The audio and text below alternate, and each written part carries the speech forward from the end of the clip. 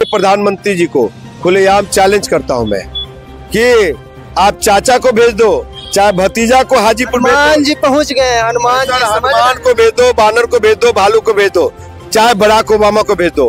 हराएँगे हराएँगे हराएँगे इस दलित विरोधी नेता को हराएँगे। अभी तक तो किसी गरीब दलित को इन्होंने सदन पहुँचने नहीं दिया। अच्छा तो क्या- को बोलते हैं दलित का ही वो नेता है पासवान अरे सर, गरीब- दलित का मतलब आता है तो चिराग पासवान। मतलब आता है। यानी कि उनका परिवार ही हमेशा रहेगा सदन में।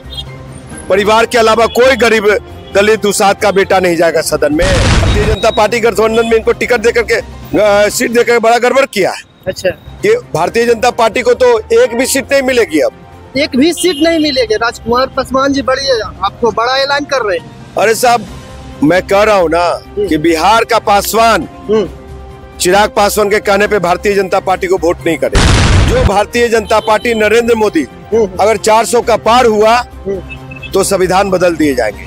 अगर 400 का पार हुआ तो आरक्षण खत्म कर दिए जाएँगे। अगर 400 का पार हुआ तो गरीब शोषित वंचितों का अधिकार छीन लिए जाएँगे। अगर 400 का पार हुआ तो वही 500 वर्ष वाला वर्ण व्यवस्था स्थापित की जाएगी। हाजीपुर के चर्चा में हूँ मैं अच्छा। और हाजीपुर के लिए काम किया हूँ? मैं 10 साल सांसद अगर होता तो हाजीपुर आज कहाँ से कहाँ होता? इंजीनियर राजकुमार पासवान जी बड़ा चेहरा मतलब कि आपको बोल सकते हैं चिराग पासवान दलितों का पासवानों का है। यह उस जगह पर हाजीपुर किस तरह से डिफेंस कीजिएगा और किस मुद्दा पर आप लड़ने जा रहे हैं वहाँ पर उतर रहे हैं? देखिए हमारी मुद्दा रही है।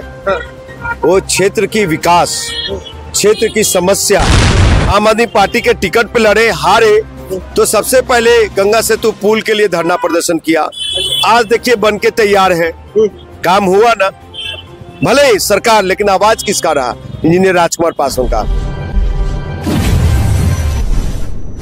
गठबंधन से पाँच सीट मिलता है और चिराग पासवान को जमुई को छोड़कर अब हाजीपुर में मिल जाता है और उसके डिफेंस में करते हैं इंजीनियर राजकुमार पासवान जी। ये 2019 में डिफेंस किए थे जो आपको दो तीन थर्ड पोजीशन पर रहे थे राजकुमार जी। ये थर्ड पोजीशन पर वहाँ पर चुनाव निर्दलीय लड़े थे और इस बार किस कैसे तैयारियाँ इनका है आइए इन्हीं से जानते हैं। क्या पहले चैनल में मेरे स्वागत जी जी नमस्कार। क्या बोलिए?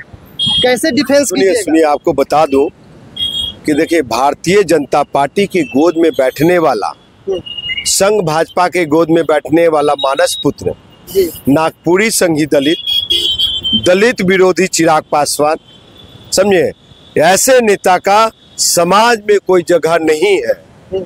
और आपको बता दूँ कि जो एनडीए ने पाँच सीटें दिए हैं तो मेरा चिराग भास चिराग पासवान से सीधा सवाल है कि अभी तक तो किसी गरीब दलित को इन्होंने सदन पहुँचने नहीं दिया।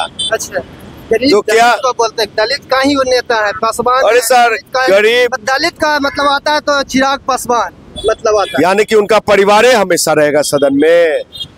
परिवार के अलावा कोई गरीब दलित दुसाद का बेटा नहीं जाएगा सदन में। अच्छा। आप लोग ये कहना चाहते हैं तो सुन लीजिए कि पा, पाँच सीटों में से कितने कार्यकर्ता को देते हैं? कितने अपने गरीब दुसाद को जो सौ घोषित अपने आप को नेता है जिनके पास डेढ़ प्रतिशत वोट भी नहीं है।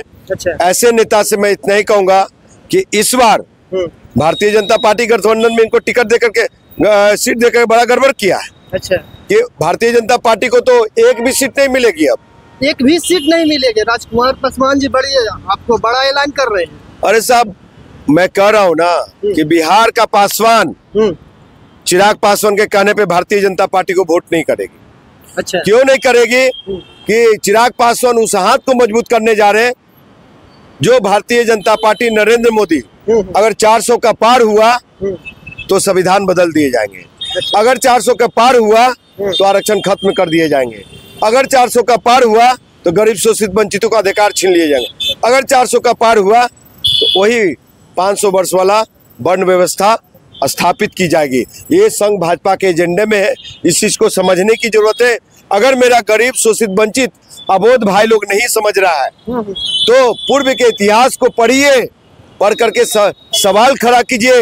यही चिराग पासवान है कि संघ भाजपा के इशारे पे कहा भारतीय जनता पार्टी के सरकार में रह करके कहा 12 अप्रैल 2016 को कि समृद्ध दलितों को आरक्षण छोड़ देना चाहिए। यही चिराग पासवान को पिताजी ने कहा। 19 और 20 के दरमियान कि कहते हैं गरीब का बेटा दुसाद का बेटा चमार का बेटा मुसर का बेटा हल चला सकता है मजदूरी कर सकता है खेत में काम कर सकता है लेकिन स्वर्ण का बेटा नहीं कर सकता इसलिए स्वर्णों को 10 प्रतिशत आरक्षण दिया जाना चाहिए। ये बात कौन कहा?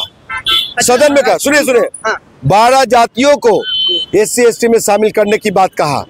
अच्छी बात है। वो भी मेरा भाई है। लेकिन पहले जो बाबा साहब आम्बेडकर ने जो साढ़े बाईस प्रतिशत आरक्षण दिया रिजर्वेशन दिया उस दायरे को बढ़ा के पैंतीस से चालीस प्रतिशत करने की बात लोकसभा सदन में कीजिए। तो अच्छा, ये चिराग राजकुमार पासवान कैसे डिफेंस करेंगे? उनको जो डिफेंस क्या करना भाई? कैसे? लड़ाई में थे पहले अब भी लड़ाई में हूँ। हम्म। हाजीपुर के चर्चा में हूँ मैं। अच्छा। और हाजीपुर के लिए काम किया हूँ? हम्म। मैं दस साल सांसद अगर होता तो हाजीपुर आज कहाँ से कहाँ होता? अच्छा। नरेंद्र मोदी के हम्म, जो संसदीय क्षेत्र है वहाँ जितना विकास की गंगा नहीं बही है उससे ज़्यादा हाजीपुर चमक रहा होता कोयटो जापान आज होता इलेक्ट्रॉनिक सिटी शहर होता साहब आपको पता है। पाँच करोड़ रुपया मिलता है प्रति वर्ष तो दस साल में कितना हुआ? पचास करोड़। पचास करोड़ रुपया कहाँ गया जमुई का? हाजीपुर का पच्चीस करोड़ कहाँ गया पाँच साल में। और और इतने सारे मैं मोदी का हनुमान हूँ मोदी का हनुमान हूँ मोदी का हनुमान हूँ। एक भालू हूँ तो सभी मंत्रालय का फंड आता लाइएगा। विजन रहेगा तब ना सर। सोचने की शक्ति रहेगी तब ना। तो बोल रहे चार सौ पार होगा और आरक्षण इतना गरीबों के लिए इस इस कदम उठाया जाएगा कि भलाई होगा आने वाला समय। सुनिए देश आज गरीब है। भूखा है नंगा है। मैं इसलिए कह रहा हूँ कि यही नरेंद्र मोदी कहते हैं कि आज पचासी करोड़ जनता को पाँच किलो अनाज बांट रहा हूँ। ये कितनी शर्म की बात है। और घटिया अनाज बांट रहे हैं ये। बढ़िया रिफाइन अनाज विदेश चला जाता है। चावल गेहूँ दलहन दाल और हमारे स्टेट के पचासी करोड़ आवाम को तो घटिया अनाज खिलाया जाए उससे बीमार हो रहे घेघे की बीमारी हो रही है। पैर पैर में पैरालिसिस मार। रहा है आने वाला पीढ़ी अपंग और कहते लाचार पैदा हो रहा है बीमार पैदा हो रहा है। बोल रहे हैं इससे पहले तो वो भी नहीं बांटता था। अरे तो साहब ये भी साहब साहब हाँ। ये कोई नई योजना नहीं लाए हैं। अच्छा। कांग्रेस के भी सरकार में स्वास्थ्य के लिए बहुत अच्छा व्यवस्था था अनाज दी जाती थी कांग्रेस का ही नारा था। गरीब जो भी हो इस देश का नागरिक रोटी कपड़ा और मकान साथ में छत की भी व्यवस्था। इंदिरा आवास इनकी योजना है क्या? अच्छा। इनका कोई योजना नहीं इनकी एक ही योजना है।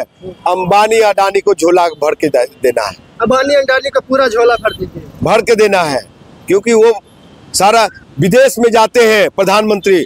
तो श्रीलंका में ऑस्ट्रेलिया में जर्मनी में अंबानी अडानी को टेंडर दिलवाते हैं। अच्छा इंजीनियर राजकुमार पासवान जी बड़ा चेहरा मतलब कि आपको बोल सकते हैं चिराग पासवान दलितों का पासवानों का है। या उस जगह पर हाजीपुर किस तरह से डिफेंस कीजिएगा और किस मुद्दा पर आप लड़ने जा रहे हैं वहाँ पर उतर रहे हैं? देखिए हमारी मुद्दा रही है हाँ, वो क्षेत्र की विकास क्षेत्र की समस्या और युवा नौजवान जो बेरोजगार है हाजीपुर में जल जमाव की समस्या है। अच्छा। हमारे हाजीपुर संसदीय क्षेत्रों में किसानों की समस्या है हम्म, हम्म, आशा बहनों की समस्या है। समझे? टोला टोला सेविका की समस्या है आशा बहने की समस्या है शिक्षकों की समस्या है समझे? जल जमाव की समस्या है बहुत सारी समस्या है। ये सब सारे निदान मतलब इंजीनियर राजकुमार दो हजार- अगर जीतते हैं तो हो सुन लीजिए पहले 2014 में हम लोकसभा का चुनाव आम आदमी पार्टी के टिकट पे लड़े हारे तो सबसे पहले गंगा सेतु पुल के लिए धरना प्रदर्शन किया। आज देखिए बन के तैयार है। काम हुआ ना? भले ही सरकार, लेकिन आवाज़ किसका रहा? इंजीनियर राजकुमार पासवान का। फिर 2019 में हाजीपुर की जनता ने तीसरा पोजीशन दिया, तीसरा स्थान दिया, चार प्रतिशत वोट दिया, पचास हज़ार के लगभग पचास हज़ार करीब वोट दिया, तीसरा स्थान दिया। उस ताकत के बल पे, त्वरित मैंने कहा जब पटना मेट्रो का काम शुरू हुआ था तो मैंने कहा पटना मेट्रो रेल पटना में ही क्यों? पटना मेट्रो रेल को हाजीपुर से जोड़ा जाए। अब हाजीपुर मेट्रो सिटी होने जा रही है। होने जा रही है मतलब इंजीनियर राजकुमार पासवान का हाँ। ही। देन। जी मेरा देन है। किसी इसमें ना कोई भी बड़े मंत्री कोई भी विधायक का देन नहीं है। और हाजीपुर जब मेट्रो सिटी होगा वहाँ के युवा नौजवान खुशहाल होंगे बेरोजगार युवा नौजवानों को रोज़गार मिलेगा। और सुन लीजिए बाईस जिला का कनेक्टिविटी सुरक्षित और एक और इम्पोर्टेंट हाजीपुर इलेक्ट्रॉनिक सिटी जब एमपी बने ना इलेक्ट्रॉनिक सिटी बनाऊँगा। अच्छा। हाजीपुर में पाँच हज़ार वाला सुपर स्पेशलिस्ट हॉस्पिटल बनाऊँगा। इसलिए बनवाऊँगा कि उत्तर बिहार के जो बाईस ज़िले हैं वहाँ से जो पटना आते हैं उनको ठगता है यहाँ का माफिया लोग। उसको रोकेंगे। ए टू जेड इलाज के लिए वैशाली जिला में हाजीपुर में वो भी बोलते हैं कि हम भी ये करेंगे कुछ नहीं कर दस साल तो किया नहीं। हम्म, अब दस साल का दस को कार्य तो दे मूल्यांकन करवा दीजिए गिनवा दीजिए। हम राजनीति छोड़ देंगे। अनाज दिए उज्ज्वला योजना दिए ये सब सारे तो बोले अरे साहब। हमारे सरकार। सरकार हाजीपुर में कितना योजना आया? आप पशुपति कुमार पारस जी विकलांग से भवन मांगा तो भवन बनाने के लिए ज़मीन मांगने लगे। अच्छा। हाय केंद्रीय मंत्री पशुपति कुमार पारस जी रोज़गार मेला लगाए तो जो उनका परिक्रमा करता था उसी को रोज़गार दे दिया नौकरी दे दिया। क्या और कोई गरीब दुसाद का बेटा नहीं था? और कोई ये कम गरीब का बेटा नहीं था? तो इस तरह से इन लोगों ने समाज को ठगा जमात को ठगा और प्रधानमंत्री की तरह जुमला दे रहे। इसलिए देश के सम्मानीय प्रधानमंत्री जी को खुलेआम चैलेंज करता हूँ मैं कि आप चाचा को भेज दो चाहे भतीजा को हाजीपुर हनुमान जी पहुँच गए हनुमान जी हनुमान को भेज दो बानर को भेज दो भालू को भेज दो चाहे बराक ओबामा को भेज दो। हराएँगे हराएँगे हराएँगे इस दलित विरोधी नेता को हराएँगे। तो देखिए इंजीनियर राजकुमार पासवान जी थे। कैसा लगा इनका विचार? आप कमेंट करके ज़रूर बताइएगा। तब तक के लिए देख रहे थे आरबीएन हिंदुस्तान सोनू कुमार के साथ।